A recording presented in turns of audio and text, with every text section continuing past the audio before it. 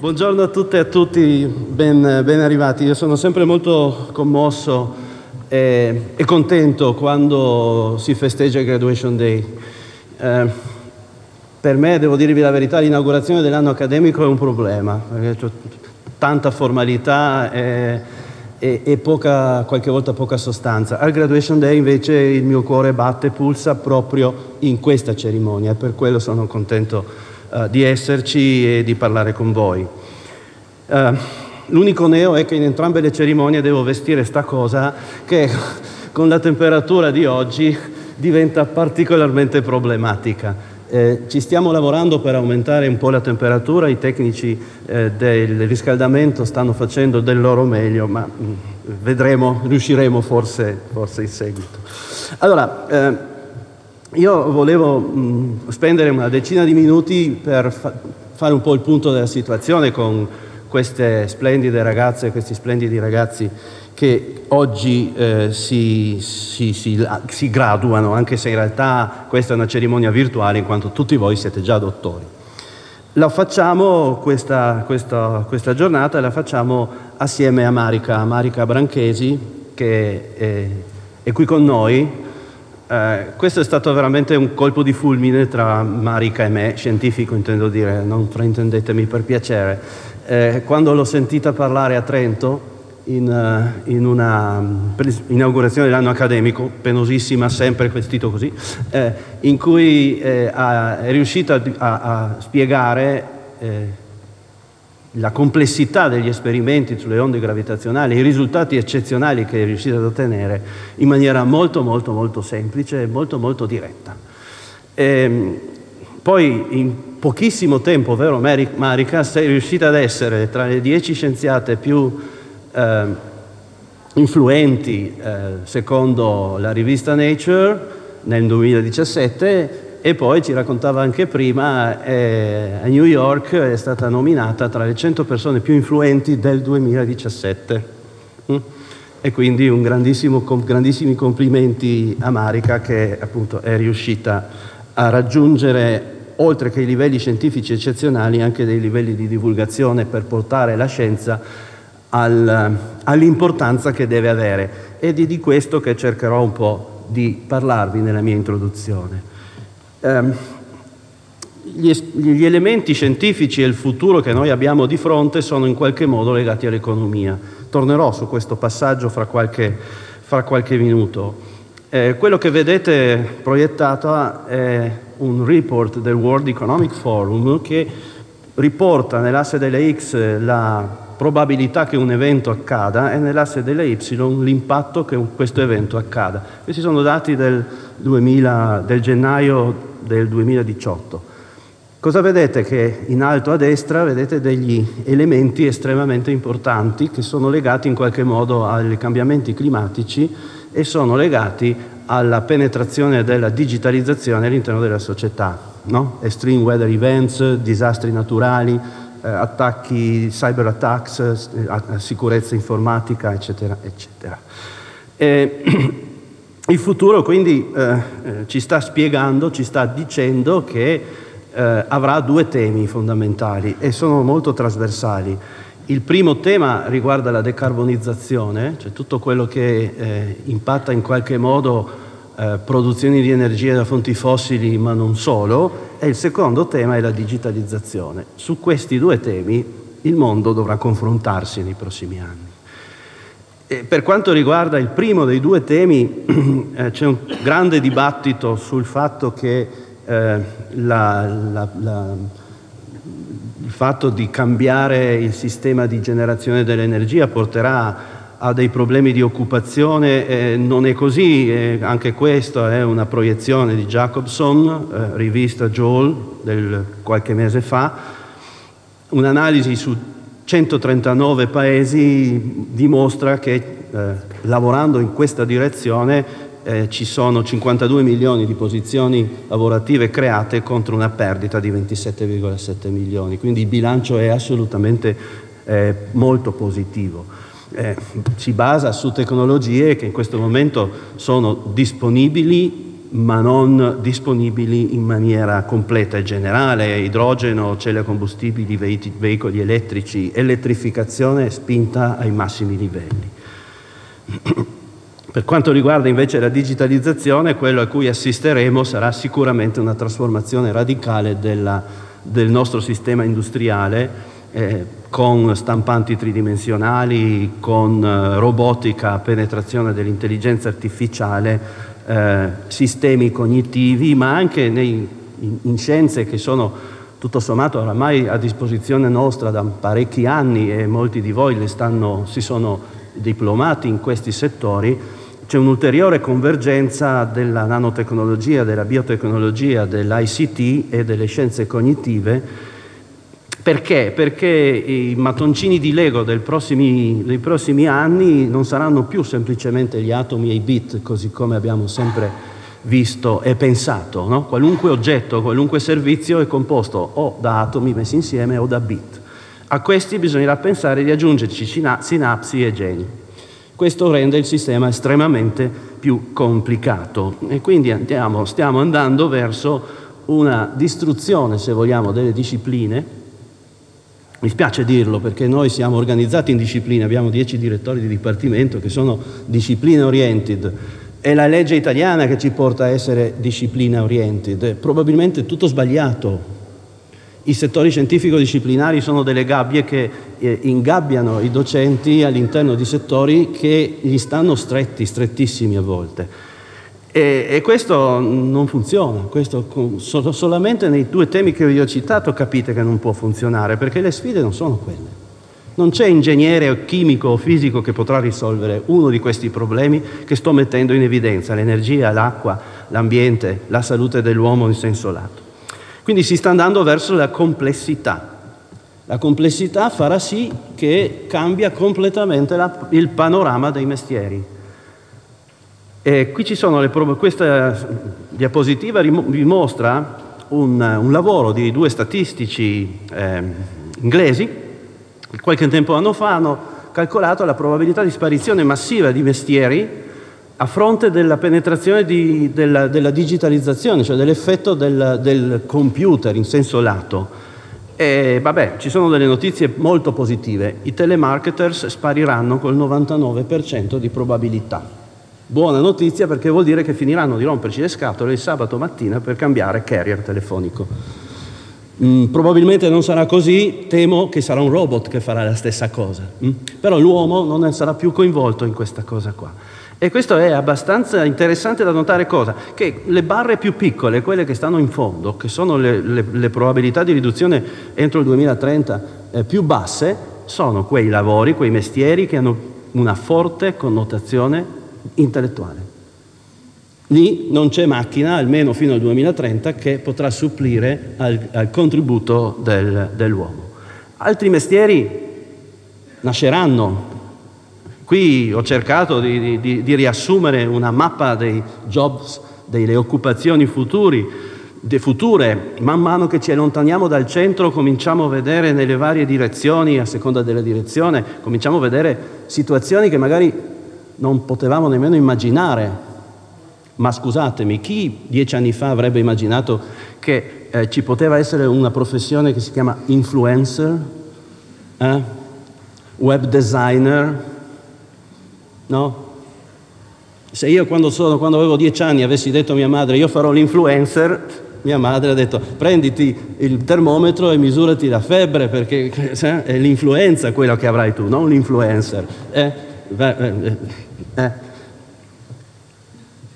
Ecco, ma questo è quello che accadrà. Allora, perché lo dico, perché lo dico a voi qui?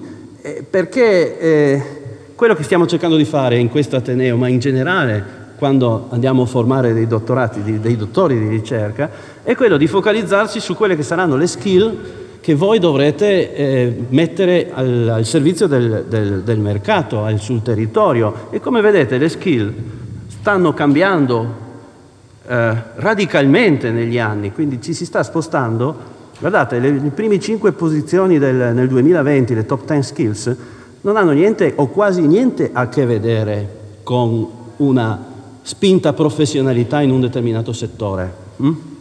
risolvere problemi complessi, pensare criticamente, pensare, usare il cervello. Eh, creatività, gestione delle persone, coordinamento con gli altri, intelligenza emozionale, e mi fermo lì perché ce ne sarebbero tante di cose da dire. Come siamo messi e che cosa vedo per voi, dottori di ricerca? Eh, beh, guardate, questo è un dato molto recente, di qualche settimana fa, sui, eh, sui dottorandi di ricerca nei vari paesi europei. Siamo messi non troppo bene, eh, quella scala là in alto sono migliaia di, eh, di persone, eh, uomini e donne, mm, come vedete in Germania eh, stiamo parlando di circa 200.000 studenti di dottorato, laddove in Italia stiamo parlando di 30-35.000 tra uomini e donne, più bilanciati noi in realtà rispetto ai tedeschi. Eh, è ancora molto molto poco, soprattutto è molto poco eh, se andiamo anche a confrontare il numero di laureati nella fascia 24-34 anni, gli obiettivi di Lisbona che vede l'Italia al 24% purtroppo, mentre vede gli altri paesi europei oltre, mediamente sul 40%, in alcuni casi anche oltre il 40%. Il futuro dov'è? E lo vedete in quello che ci sta dicendo un po' l'Europa da da tanti anni, Qui ci sono due, due, nella diapositiva, due parole chiave, SMEs e PhDs. Questo è il problema dell'Italia. A mio avviso eh, ci deve essere consapevolezza da parte del sistema produttivo e anche, e anche della pubblica amministrazione italiana del valore che i, che i dottori di ricerca hanno.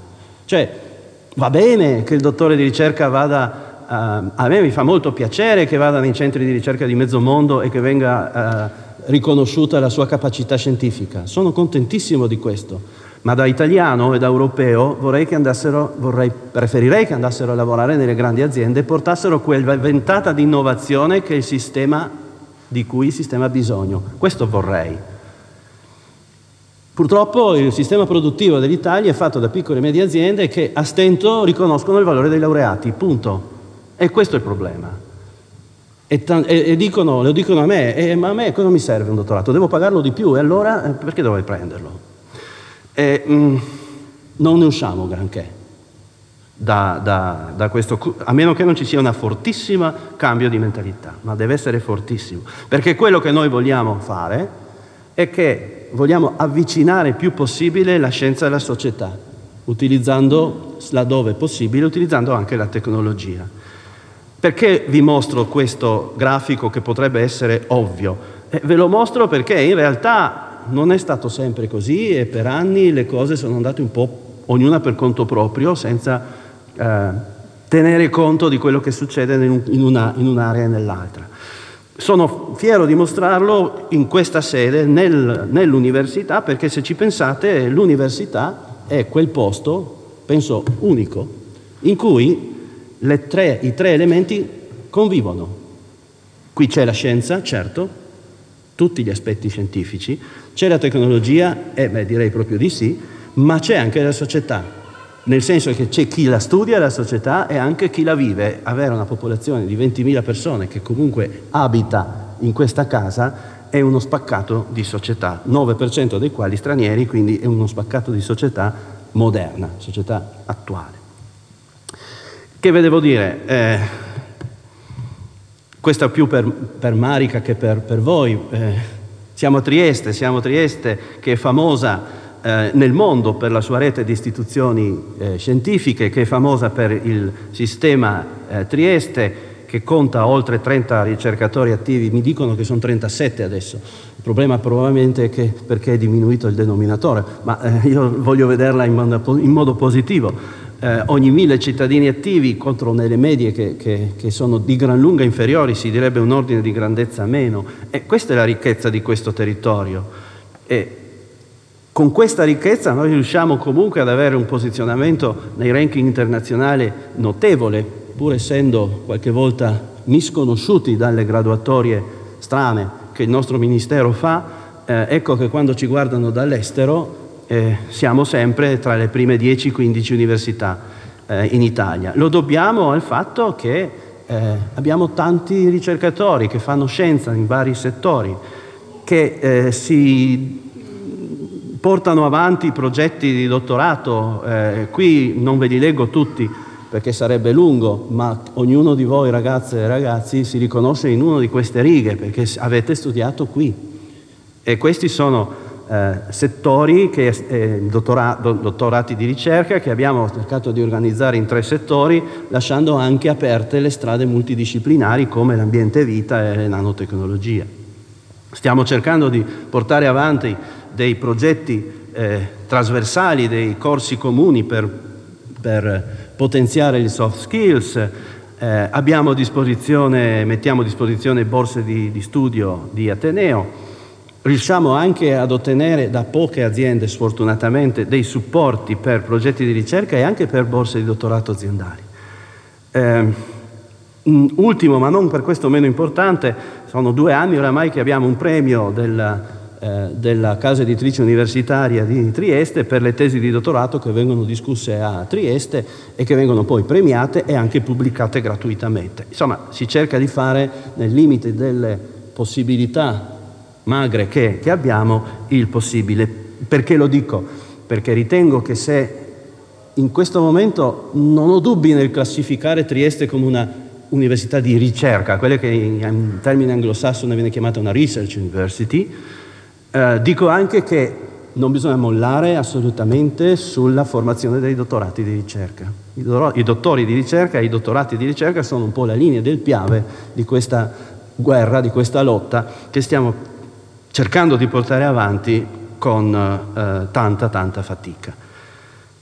Sono molto convinto di questo eh, perché vedo che la, la qualità dei nostri dottori di ricerca, quando vengono valutati all'estero, è alta, è molto alta. Perché? Mi sono chiesto tante volte, questa, mi sono fatto questa domanda. Eh, è forse il nostro dottore di ricerca più produttivo in termini di efficacia di un cinese che lavora 23 ore e mezza al giorno? No, perché noi non siamo fatti così. Ma noi abbiamo dalla nostra più di 2000 anni di cultura con delle intermittenze tutto sommato abbastanza piccole, speriamo che al giorno d'oggi non entriamo in un'intermittenza più grande, lo spero vivamente, anche se i segnali non sono incoraggianti. Abbiamo curiosità tipica dei, degli italiani e quando un italiano è curioso nella scienza vuol dire che investiga dei campi che sono fuori dalle gabbie. Vi ricordate le gabbie concorsuali di prima, le discipline? La curiosità mi porta fuori dalla gabbia. Poi è chiaro che il sistema deve riconoscere quella curiosità e valorizzarla e la creatività che è tipica nostra italiana. Direi che eh, c'è un, un, un, minus che è il problema che finché non abbiamo la scadenza di fronte l'italiano medio non si mette a lavorare. No? Dice sì, boh, farò domani, intanto andiamo avanti. E, Cosa ci sarà a Trieste nel futuro? Eh, Trieste è stata riconosciuta come capitale europea della scienza, io non, non perdo occasione per ricordarlo a me e, e, a tutti e quindi questa sarà una grandissima occasione per poter eh, consolidare questa, eh, questa etichetta anche dopo, anche dopo, il 2020. Eh, chiudo dicendo qual è la mia visione di università, che la prendo un po' da una nota di Theo Roosevelt, eh, Roosevelt ci dice sempre, ci ha detto sempre di eh, mantenere i nostri occhi verso le stelle. Non, ha, non, ho scelto a caso questa diapositiva, Marica. Però mantenere anche al contempo i nostri piedi ben piantati eh, sul, sul, terreno. E voi, dottori di ricerca, noi ricercatori, anzi noi ricercatori in senso lato, perché anche voi lo siete, abbiamo questa fortuna questa possibilità di andare oltre le, le, le, le nuvole e guardare le stelle eh, direttamente. Questo vuol dire guardare lontano, avere visione, cercare di capire dove va il mondo e che cosa serve al mondo, non al rione di Trieste, all'Europa, al mondo. E poi riuscire a trasportare tutto questo in delle esigenze che invece possiamo portare sul territorio. Ecco, io eh, mi, fermo, mi fermo qui e vi ringrazio di, di, essere venuti, so che non siete venuti qui per me, Siete venuti alcuni per lanciare il tocco, altri per sentire Marica, che pregherei gentilmente di, eh, di accompagnarmi qui sul podio. Grazie mille.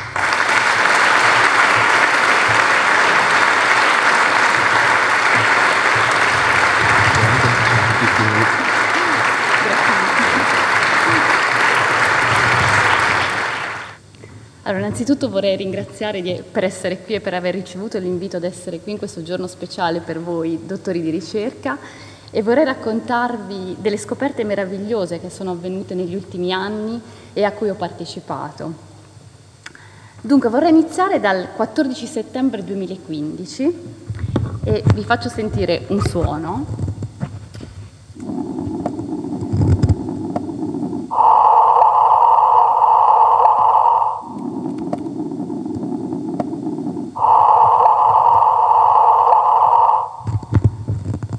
Questo è il suono delle onde gravitazionali che sono state eh, ascoltate per la prima volta in quel giorno ed è la fine di una ricerca che è durata 100 anni perché erano state predette esattamente 100 anni prima da Einstein ed è l'inizio di un nuovo modo di osservare l'universo.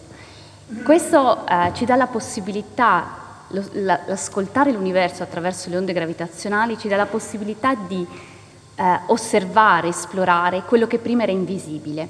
Questo suono è la coalescenza di due buchi neri che si sono scontrati a ehm, mezzo miliardo di chilometri all'ora e il suono è brevissimo, è durato due decimi di secondo, ma da quel segnale i teorici eh, ci hanno permesso di capire appunto che sono due buchi neri che hanno formato un buco nero più pesante i buchi neri sono queste regioni eh, dello spazio dove la, ehm, la, densità è talmente alta, il campo di gravità è talmente alto che niente può fuoriuscire e si formano dalla, mh, dalla morte di stelle estremamente massicce che esplodono come supernove e il materiale ricade dentro dando a formare appunto questi buchi neri.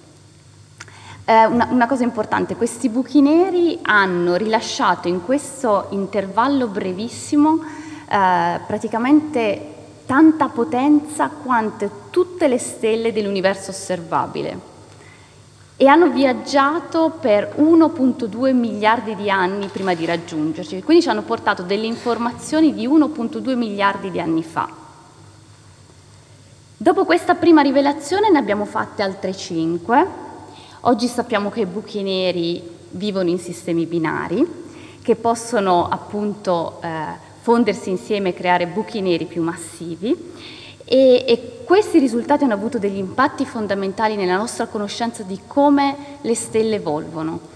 E questo ha portato al premio Nobel di quest'anno che è andato a Ray Weisberg, Barish e Kip Thorne questi sono stati degli scienziati visionari, degli scienziati che hanno perseguito il loro sogno per 40 anni. Quando tutti pensavano che l'astronomia delle onde gravitazionali era un qualcosa di impossibile, loro hanno continuato a sviluppare questi interferometri e oggi abbiamo questi, inter- questi osservatori fantastici che appunto ci permettono di osservare l'universo. Dopo che vengono trovati questi segnali di eh, di onde gravitazionali, quello che si fa è quello anche di, di cercare di, eh, di catturare un eventuale segnale elettromagnetico. E quindi entrano in gioco quelli che sono eh, i, i, telescopi che abbiamo a terra, i satelliti che abbiamo, che abbiamo nello spazio, che sono diciamo, la, l'astronomia tradizionale.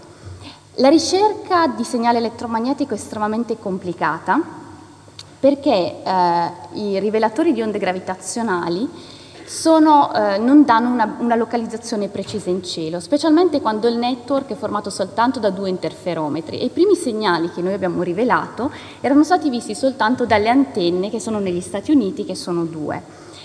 E, ehm, tipicamente le localizzazioni in cielo sono enormi, coprono quasi tutto il cielo e i campi di vista dei telescopi tradizionali sono molto piccoli. Nei volumi di universo che corrispondono a questi segnali ci sono milioni di galassie e quindi è veramente difficile trovare il segnale elettromagnetico ed è complicatissimo eh, trovare la galassia dove, da dove provengono questi segnali. In realtà i buchi neri non ci si aspetta che mettino eh, anche segnale elettromagnetico, ma gli astronomi sono molto curiosi e se i teorici dicono no, non ci può essere segnale elettromagnetico, gli osservativi comunque provano a guardarci per vedere se c'è qualche sorpresa, perché i maggiori avanzamenti della scienza sono venuti proprio dalle sorprese, da quello che era inaspettato. Ad agosto è successo qualcosa di eh, importantissimo. L'antenna che abbiamo in Italia, Cascina, Virgo, è entrata eh, in rete, quindi ha cominciato ad osservare eh, l'universo insieme ai, ai due eh, rivelatori che sono negli Stati Uniti. Eh, c'è stato un lavoro intensissimo per avere Virgo online e Virgo aveva soltanto, è entrato online appunto ad agosto, aveva soltanto 25 giorni, il run è durato diversi mesi, il run osservativo di LIGO, eh, quasi un anno se mettiamo primo e secondo run, e Virgo invece aveva soltanto 25 giorni per dimostrare la sua importanza nel network. E sono stati veramente i 25 giorni, penso, più intensi della mia vita per tutte le scoperte per tutte, eh, che abbiamo fatto appunto in quel mese e tutti i segnali che ci sono arrivati. Il 14 di agosto è arrivato un segnale e, e Virgo ha partecipato alla rivelazione del segnale. E quello che vedete in questa immagine è il, l'importanza di Virgo. Se voi guardate quelle ombre che sono sulla sfera celeste, quello che vedete è che sono molto grandi, tutte quelle sopra, e quelle in basso è piccolina.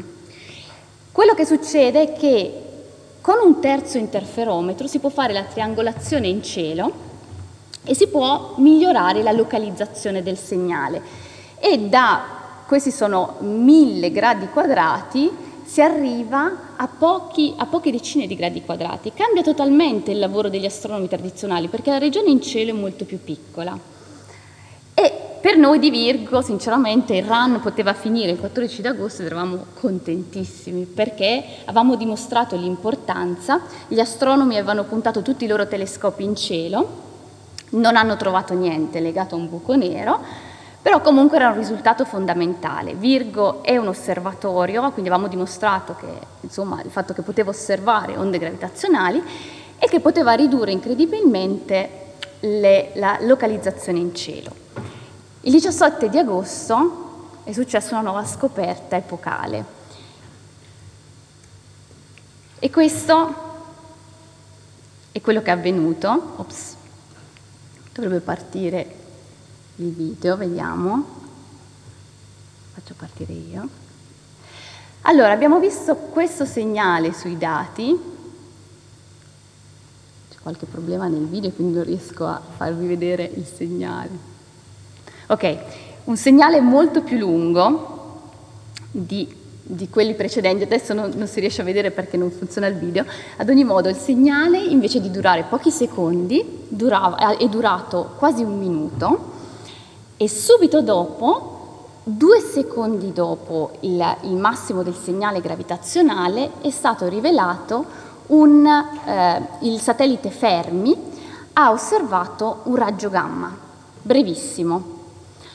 Quindi due segnali vicini, avevamo l'onda gravitazionale e avevamo anche la controparte elettromagnetica, la prima controparte elettromagnetica delle storie di un'onda gravitazionale. Abbiamo capito immediatamente che il nostro sogno era davanti a noi perché non era la coalescenza di due buchi neri, ma era la coalescenza di due stelle di neutroni. Le stelle di neutroni sono delle stelle esotiche, delle stelle eh, anche in questo caso estremamente dense, hanno una massa di circa due masse solari in un diametro di 20 km. Un cucchiaino di, eh, di stella di neutroni pesa miliardi di tonnellate e sono diciamo, fantastiche per, presenza, per l'alta presenza di neutroni. E quello che è successo è questo. Noi abbiamo visto, ve lo racconto a voce, dunque, queste due stelle di neutroni hanno iniziato a ruotare una attorno all'altra e noi abbiamo rivelato l'ultima parte di questa danza quando le forze mareali diventano talmente intense che incominciano a distruggere parte di questa di, questa, di, queste stelle e i neutroni si liberano nel, nel, nella, nel, nella zona circostante e creano un disco di accrescimento temporaneo che genera due getti che si muovono alla velocità della luce e questi due getti danno l'emissione nel gamma e eh, in particolare poi tutti i colori della luce, quindi gamma, X, ottico e radio. Nello stesso tempo una parte di questi neutroni, quindi questa massa molto ricca di neutroni, si muove invece a velocità subrelativistiche e dà luogo ad un transiente che si chiama kilonova, che è estremamente importante per la formazione degli elementi pesanti nell'universo. E in particolare vi faccio vedere che eh, quello che è successo dopo eh, la rivelazione dell'onda gravitazionale è stato il cercare di catturare tutti i colori di questo, eh, di questo evento, quindi tutta la luce emessa dalla, dalla, dalla sorgente di onde gravitazionali. Noi avevamo un problema sui dati, quindi noi abbiamo visto il segnale intorno alle due, però c'era un problema sui segnali del rivelatore più eh, sensibile, che è quello che abbiamo a Livingston, e c'era un, un, un, rumore che doveva essere rimosso. Quindi abbiamo lavorato tantissimo per rimuovere questo rumore per avere una localizzazione in cielo. La nostra deadline era passare una localizzazione in cielo ai telescopi che sono in Cile. Lì abbiamo i telescopi di ESO, i telescopi più importanti, anche i telescopi americani sono in siti, eh, sono in montagne molto elevate e eh, sono i telescopi diciamo, che riescono ad osservare meglio l'universo. Ehm, alle circa 5 ore e mezzo dopo siamo riusciti a passare una localizzazione in tempo per i telescopi cileni. Questa era la localizzazione più piccola che abbiamo mai avuto, di nuovo Virgo ha giocato un ruolo fondamentale.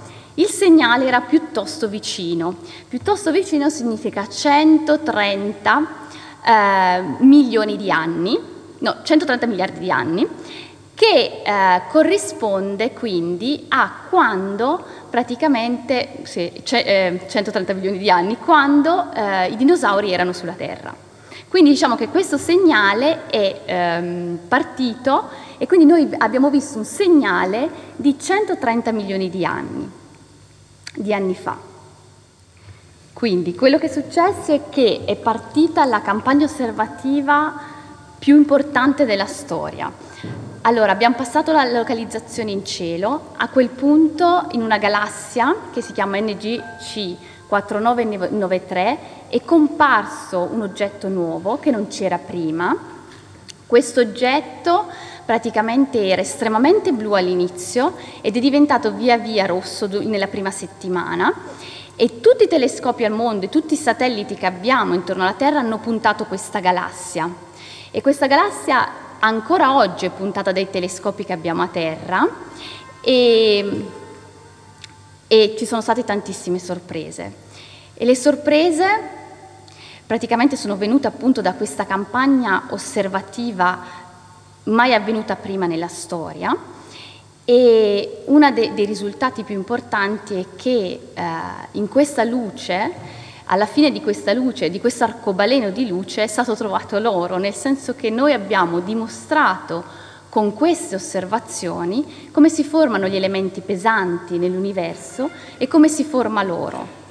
E in particolare dalla brillanza di questo oggetto, quello che è venuto fuori è che in questa fusione di due stelle di neutroni si sono probabilmente formate dalle 10 alle 100 terre come peso di oro quindi una quantità immensa. Quindi da questi segnali che provengono da estremamente lontano, noi possiamo spiegare perché sulla Terra noi oggi abbiamo l'oro e probabilmente l'oro che abbiamo sulla Terra è, è, viene dalla fusione di due stelle di neutroni che sono avvenute nella nostra galassia miliardi di anni fa.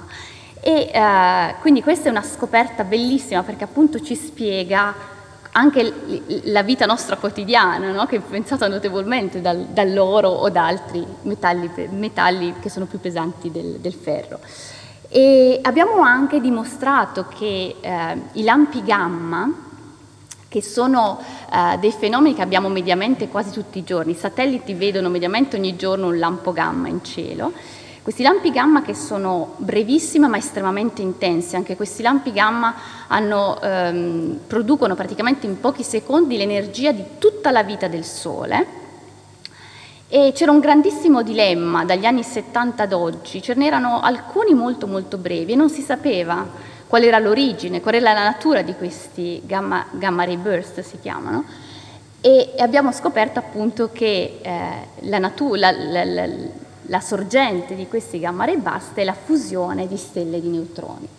Quindi diciamo che eh, questi due anni eh, in cui abbiamo aperto questa nuova astronomia sono avvenute delle scoperte bellissime che hanno aperto proprio la nostra conoscenza e la cosa stupenda è che ehm, in realtà, ecco neanche questo parte quindi non ve lo posso far vedere, ma questo eh, è uno spettro che dimostra appunto la formazione degli elementi pesanti nell'universo e questi sono tutti gli elementi che si possono formare dalla fusione di due stelle di neutroni e, e quindi diciamo due anni in cui abbiamo questo nuovo modo di osservare l'universo e la nostra conoscenza dell'universo si è ampliata notevolmente.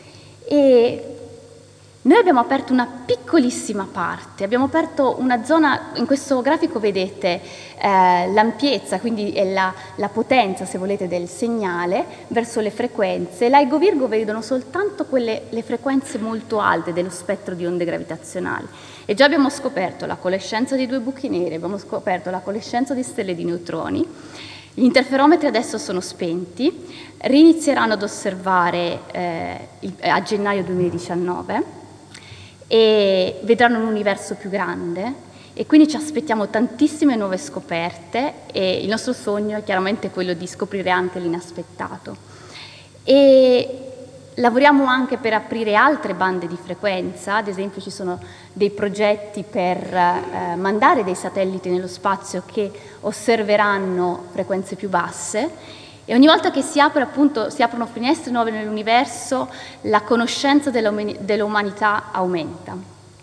Siamo, la cosa più bella diciamo, di quei mesi è stata eh, che ogni giorno avevamo informazioni nuove e queste piccole informazioni andavano a riempire un puzzle che ci permetteva di comprendere un pochino di più l'universo. Quindi quello che abbiamo fatto è di unire il suono alla luce, abbiamo questo strumento bellissimo che appunto sono le onde gravitazionali.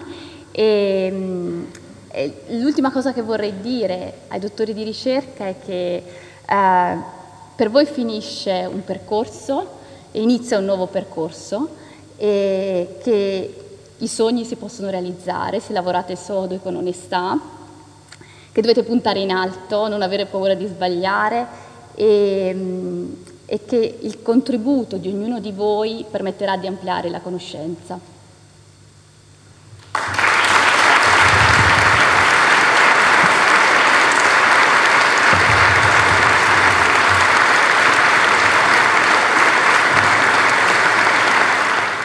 È giunto il momento di fare questa proclamazione eh, ufficiale virtuale Dato che poi il tocco lo dovete lanciare, magari se lo... Me- no, no, no, non i miei colleghi, i dottori intendo dire, li, li potete indossare.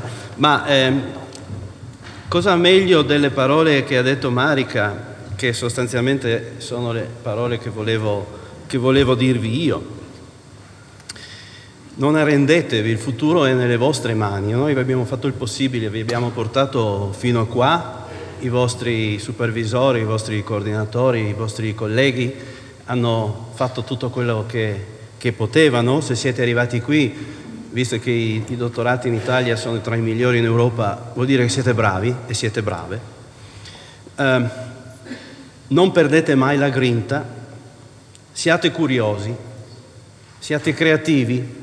In tutti i settori si, possa, si può essere creativi, non è mica detto che la creatività ce l'hanno solo i designer, ma tutti possono essere creativi, gli ingegneri un po' meno, ma va bene lo stesso. E siate curiosi. Vi ricordate le tre C che vi ho fatto vedere prima? La cultura è, è, è fuori discussione perché ce l'avete, perché se non, se, se non ce l'avete non sareste qua. Ma la curiosità e la creatività dovete continuare a coltivarla. Fate come Marica, fate anche come me, fate come tanti dei miei colleghi, girate il mondo, eh, tante volte mi dicono cosa ne pensa della fuga dei cervelli. Dico, sa, a me spaventano quei cervelli che vanno via lasciando il corpo qui. Queste sono le fughe dei cervelli che mi spaventano. Andate, portate il, cerve- portate il corpo dentro il cervello, eh, fate le vostre esperienze e poi tornate che questo territorio, la nostra università, eh, intendo l'università italiana, ma anche quella di Trieste, ha tanto, tanto bisogno di voi. Ma quando tornate, tornate con una bella spranga di ferro per distruggere i settori scientifico-disciplinari per distruggere tutto quello che ci ingabbia e che non ci permette di eh, affrontare i temi che ho, in brevissimo tempo che ho avuto a disposizione, ho cercato di mettervi in, di, di, portare alla vostra, alla vostra attenzione. Portate la cultura italiana e di questa regione eh, nel mondo, portate la visione, cercate di ricordare quello che ha detto eh, Theo Roosevelt sempre la possibilità di guardare via, via, lontano. Quando volete, io guardo lontano quando vado a camminare in montagna, qualcuno magari lo fa quando va a nuotare eh, in, in mare, qualcuno lo fa quando gioca a golf. Non importa come e quando, però abbiate la capacità di guardare e poi di riportare il tutto nel vostro ambito e soprattutto nel nostro paese, nella nostra Europa. E non dimenticatevi mai, mai dimenticatevi di sognare. Questo è il periodo in cui dovete sognare. Non arrivare a 70 anni e sognare, non serve più.